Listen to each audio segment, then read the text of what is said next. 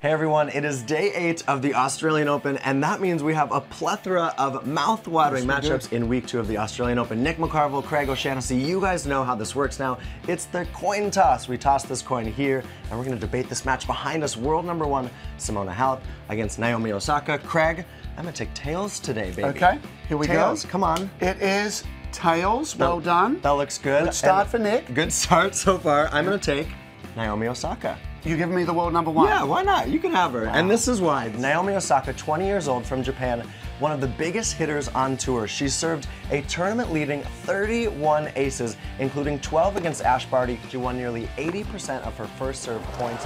She's working with Serena Williams' former hitting partner, Sascha Bajin, and he has helped her hone her power in to become one of the most dangerous players on tour. She's gonna have to make sure she's hitting hard and staying consistent against Simona Halep, who we all know is a human backboard.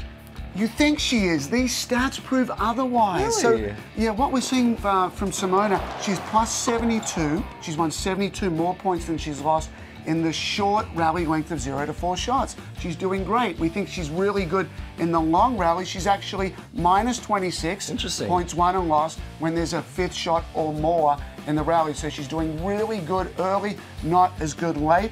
Last round went 15-13 against Lauren Davis. At 10-11, she was down love 40. Composure, won five straight points. I really think that that match, that Yeah. defining moment, is going to be really big in her career and could even power her to the title here. Oh, you're giving her the title already, but she should have beaten Lauren Davis in straight sets. And Ah, Simona has now that. spent almost seven hours, Craig, on court this AO. Yeah. Naomi Osaka hasn't dropped a set. Seven hours of experience, seven hours of getting better out there, and seven hours of getting better in the short rallies, which we're going to see a lot of here. We have got an incredible matchup. Naomi Osaka, come on, Naomi, against the world number one, Simona. Simona Halep, in the fourth round of the Australian Open. This has been episode eight of the coin toss.